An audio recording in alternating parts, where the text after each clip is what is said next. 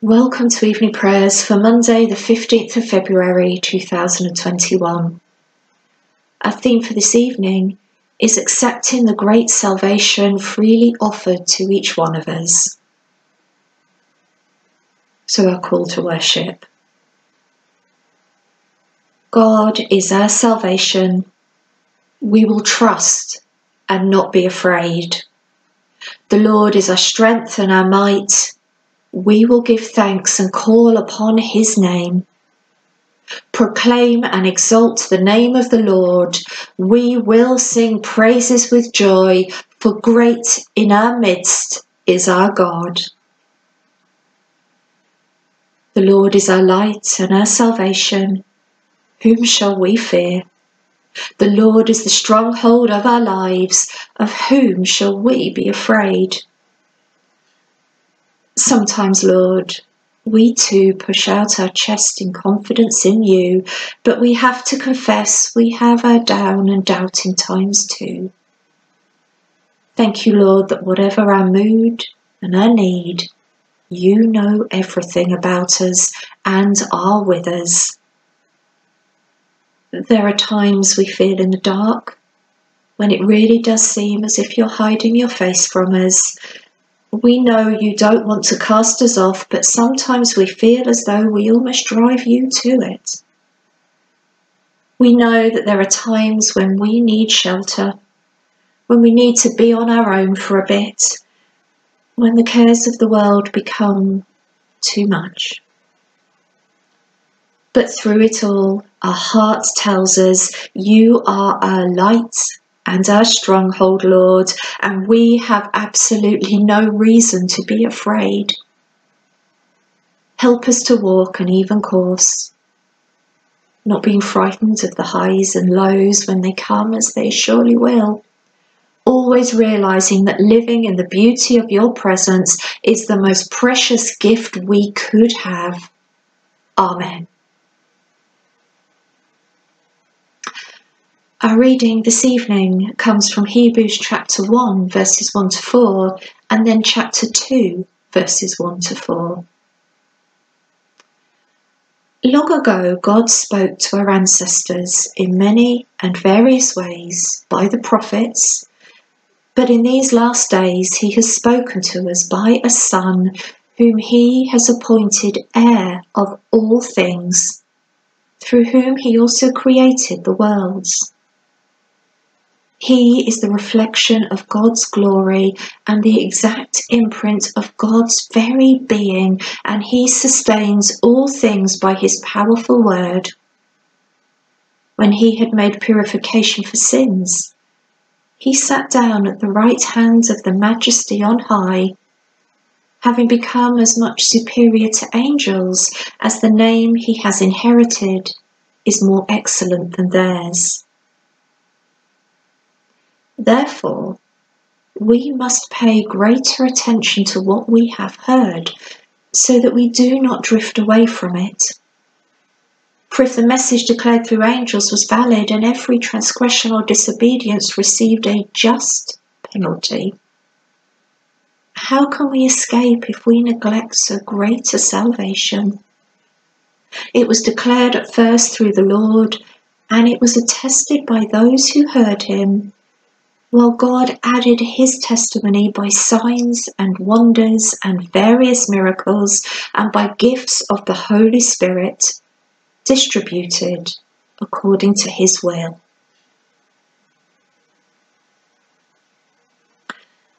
Over the last week, our prayers have considered some of the issues in which our lives keep us away from God, disagreements between us which separate us, the times when we fail to recognize God in the world around us, and how judgment is often used to condemn rather than restore ourselves and others. But we've also remembered the joy of restoration in our relationships with God and each other, and the patience of God when it comes to even us, and the aroma of Christ which fills our lives when we are one with God. Today, our reading challenges us.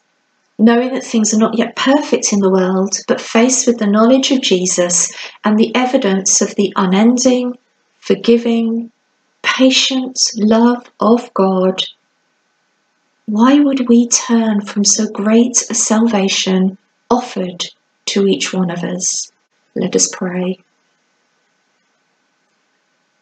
God of the wind, you are the breath we breathe. God of the dark, you bring light to our hearts. God of salvation, begin with us. Amen. My next prayer is a song which is close to my heart because of the group that wrote it and performed it when I was a teenager and at that age where I was so desperate to cling to God, but the world was calling and so many distractions around me. I used to go once a month to a, a school hall where a band called Cutting Edge would play Christian music, they'd preach, we'd pray, surrounded with other teenagers, other people of my age and it was wondrous. Cutting Edge changed their name over time and became the group Delirious, but the songs have stayed with them. So the song I'm about to share, The Message of the Cross, is one which kept me clinging to God and is one I share with you for your prayers, but also given to you in love.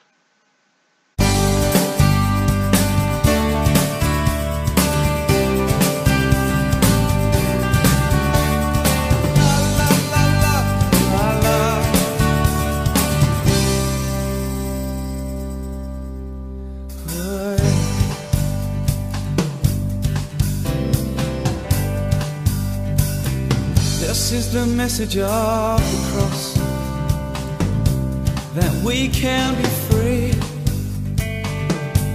to live in the victory and turn from our sin.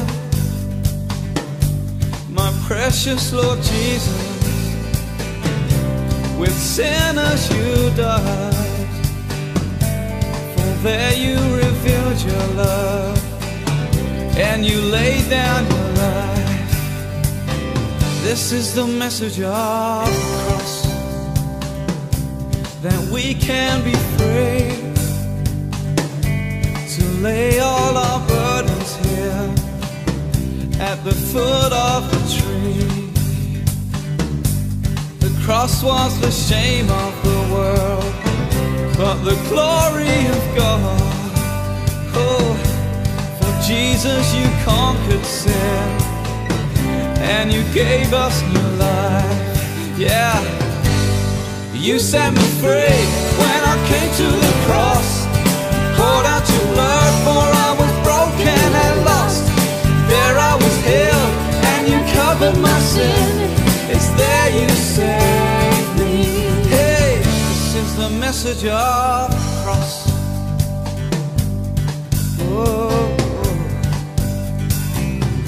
This is the message of the cross. That we can be free To hunger for heaven, Lord. To hunger for thee. The cross is such foolishness To the perishing. Oh but to us who are being saved, yes, it is the power of God. Oh, you set us free when we come to the cross. Pour out your blood, for we are broken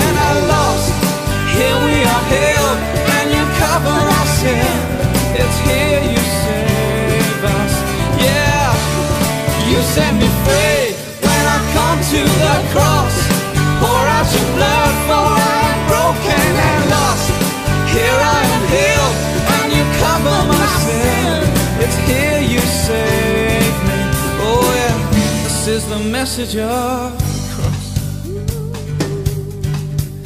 Oh yeah, come to the